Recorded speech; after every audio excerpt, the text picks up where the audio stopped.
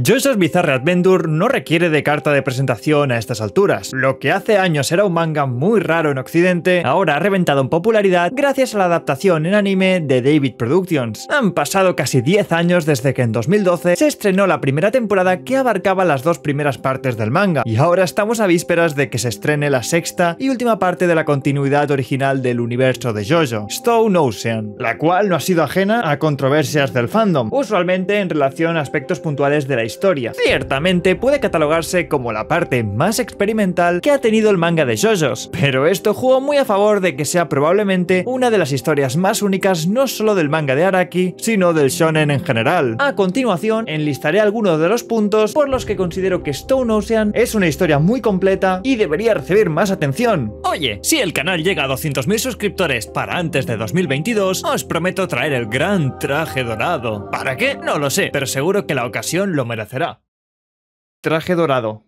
1. Jolaine. Lo más atractivo de esta parte de JoJo's es Jolaine. ¿Y cómo no? Pues es muy raro para un manga shonen contar con una mujer como el estelar de una historia publicada en una revista que va primordialmente enfocada a un público juvenil masculino, al menos para aquel entonces. De hecho, en una entrevista realizada en 2006, Araki enfatiza que para la época era impensable tener una mujer cumpliendo el rol de un personaje masculino en un shonen de peleas. Aún así decidió proseguir con una idea que no fue del todo bien aceptada por parte de sus editores, le pedían que reconsiderara su decisión de implementar a una mujer como protagonista. Araki no es ajeno a esto. Constantemente se ha opuesto a modelos tradicionales del shonen desde Phantom Blood, pues Jonathan Joestar no es un protagonista japonés y en 1987 era un tabú la idea de que un extranjero sea la cara de un manga shonen. Pero como os podéis hacer una idea, lo verdaderamente interesante de Stone Ocean no es el simple hecho de que la protagonista sea una mujer, sino que es una mujer bien construida y que va más allá de una máscara de rudeza. La industria del shonen nos tiene mal acostumbrados con los personajes femeninos que actualmente a la mínima muestra de que una mujer pueda pelear, nos convencemos de que es un buen personaje por compararlas con los peores exponentes del medio, que tristemente son la mayoría. Personajes que solo operan como el interés romántico de un protagónico y que son completamente irrelevantes para la industria. ¿Quieres ver a una protagonista mujer? Mucha gente te dirá, vete a ver un shoujo. ¿Que la quieres ver en un shonen? Oh, va a ser muy ruda. Vamos a tratar mejor este tema. El problema es que no basta con solo adoptar una actitud de chica dura, porque si esta característica es lo único que tiene, entonces sería completamente intrascendental que el personaje personaje sea mujer, pues su rol lo podría satisfacer un hombre o incluso una criatura no humana. Vamos, que el personaje tiene que estar bien construido y que la protagonista sea chica en un shonen es una dificultad y puede caer fácilmente en el cliché. Lo que vuelve a Jolaine especial es lo versátil de personalidad, que le hacen sentir como una persona real con miedos, preocupaciones, deseos y anhelos, que abraza su propia feminidad, pero a la vez no vacila cuando debe mostrar su faceta más dura e intimidante, pues su determinación es inquebrantable y demuestra ser una chica fuerte y decidida sin temor a expresar su lado más jocoso o cariñoso con otros personajes. En palabras del propio Araki, en su nota del primer volumen de Stone Ocean, dice lo siguiente, el hecho de que sea una mujer es un planteamiento algo complejo, pero pensando sobre ello parecía muy interesante. Incluso podría ser una persona con gran humanidad como la Virgen María, simplemente sentía que debía hacer a la protagonista una mujer. Araki sabía con exactitud al problema que se estaba enfrentando. El setting. La sexta historia nos sitúa en Florida en el año 2011, donde Jolaine se ve envuelta en una serie de eventos que la llevan a prisión por un crimen que no cometió. A grandes rasgos y sin entrar en mayores spoilers, esa es la trama, la cual dista mucho de las aventuras a lo Indiana Jones de Battle Tendency o los viajes intercontinentales de Stardust Crusaders o la persecución por toda Italia por Vento Aureo. En Stone Ocean podemos apreciar algo superficialmente similar a lo realizado con Diamond y Unbreakable, es decir, centrarnos en un escenario estático, siendo este Morio en la parte 4 y Florida, más específicamente la prisión de Green Dolphin Street, en la parte 6. Digo superficialmente porque el tratamiento que le dio Araki a Morio difiere completamente de cómo se escribe la prisión en la que Jolaine se mantiene captiva. Mientras que el pueblo de Morio recibe su propia caracterización que nos sirve como ventana al colorido y carismático microcosmos con un misterio oculto, la prisión Grindolphin es un escenario infinitamente más opresivo en comparación y tiene la finalidad de limitar las libertades del grupo protagónico con el fin de generar mayor tensión. Esto es algo que no se ha vuelto a hacer en JoJo's, al menos no a esta escala, presentar un entorno inherentemente restrictivo, en el que los personajes tienen que lidiar con dichas restricciones e ingeniarse una manera de salir victoriosos. Si a este opresivo setting le sumamos poderes stand que ponen en aprietos a los protagonistas, tenemos como resultado peleas de infarto que juegan por completo con el entorno y lo exprimen para sacarle provecho a los enfrentamientos. Y es que la forma en que opera la prisión Green Dolphin Street es muy detallada y divertida, ya que no solo cuenta con las obvias limitaciones como celdas diminutas, periodos recreativos estrictos en su duración o guardias armadas hasta los dientes y listos para disparar, sino que también implementa un sistema económico interno que, aunque poco usado, le otorga mayor riqueza y sustento a su mundo. Marca un antes y un después en JoJo's. Stone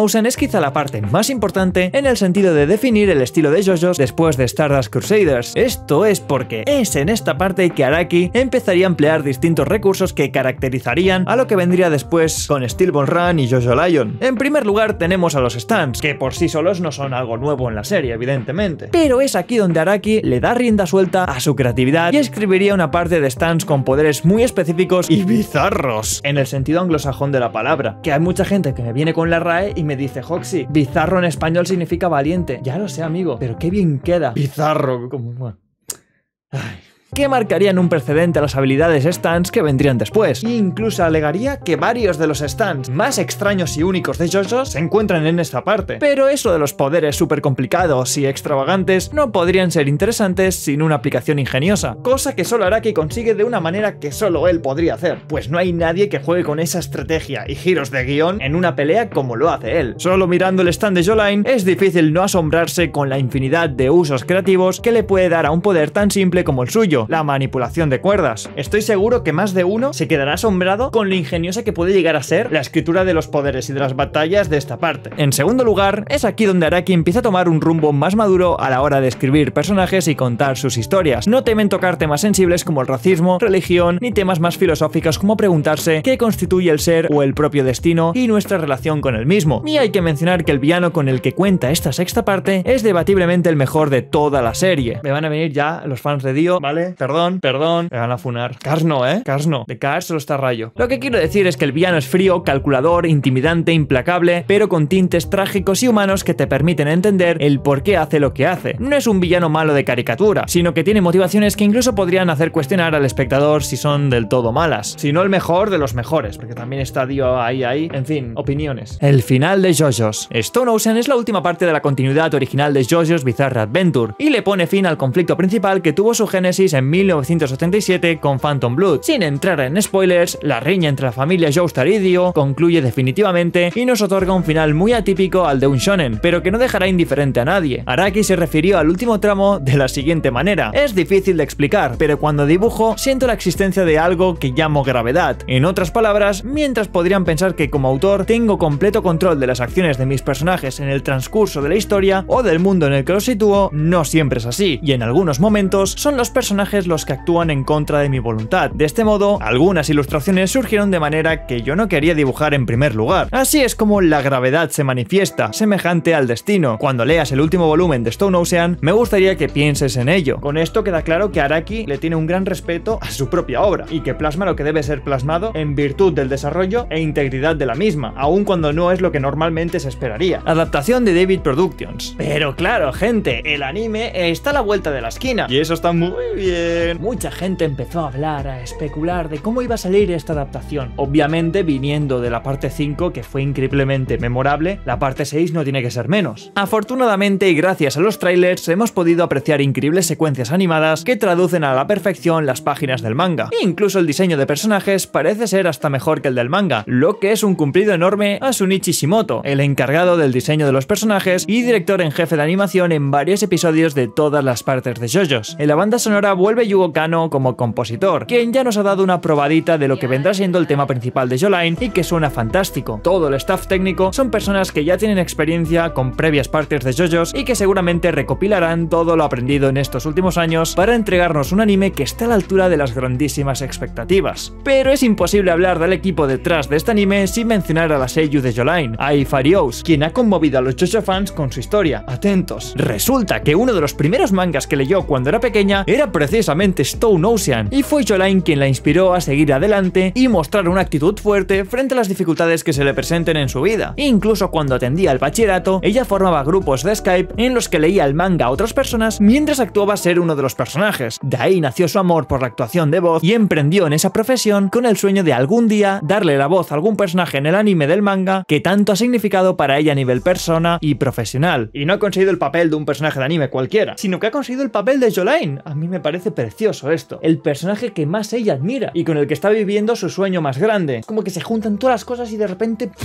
Es muy conmovedor como un fan normal y corriente puede llegar a ocupar los zapatos de su personaje favorito. Y ya podemos dar por sentado que esta chica lo hará sobresaliente. Porque ya hemos escuchado los hora, hora, hora y muy bien, 10 de 10. La sexta parte podrá tener sus detractores, pero es innegable que es una historia de enorme importancia para el universo de JoJo's y que debe ser contada. Sumado a la producción del anime, que está llena de gente con genuino cariño y amor a la franquicia, estoy más que seguro en que se nos entregará algo de muy buena calidad que tiene el potencial de ser la mejor parte animada hasta la fecha. ¿Qué opináis? ¿Puede llegar a ser? ¿No lo será? Voy a hacer una pequeña cápsula del tiempo. Si este vídeo llega eventualmente a los 20.000 likes, una vez ya saca todo el anime de Stone Ocean, voy a hacer un análisis de toda la parte. Pero un análisis tocando todos los temas. 20.000 likes, todo el tiempo del mundo. Por cierto, ¿os gusta esta camiseta que tengo? Si la queréis, o cualquier otra de anime, estoy haciendo un sorteo en Instagram con los chicos de Console Corp. Ahí está todo en Instagram, es un sorteo donde me tenéis que seguir a mí, a ellos, dar like a la publicación. Están todos esos requisitos ahí, miradlo. Os dejo el enlace del sorteo en la descripción por si queréis participar. Soy Hoxanime y me despido. ¡Hola!